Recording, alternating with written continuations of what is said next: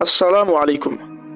Tu te poses peut-être la question de comment puis-je savoir que mon ramadan a été accepté par Allah? Si tu te poses cette question, ceci est déjà un signe que tu as la foi. Car Allah dit dans le Coran,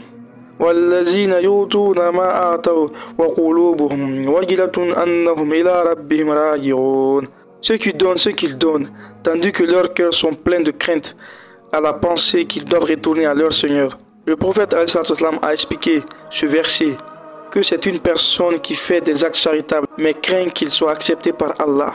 Donc, s'inquiéter que ces actes soient acceptés par Allah est un signe fondamental qu'une personne a la foi.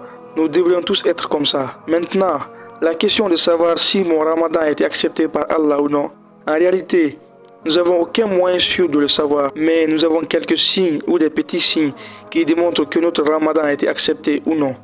Le premier peut se trouver dans la parole d'Allah. Quand Allah dit Allah accroît la rectitude de ceux qui suivent le bon chemin. Un des savants mentionne dans le tafsir de ce verset qu'Allah croit en guidant ceux qui sont déjà guidés. Ceci contient un signe quant à savoir si tes actes sont acceptés ou pas. Si tu conclus tes actes et tu as ensuite la possibilité de faire une autre bonne action, c'est le signe que tes actes ont été acceptés. Alors prenons l'exemple sur le ramadan et l'Eid.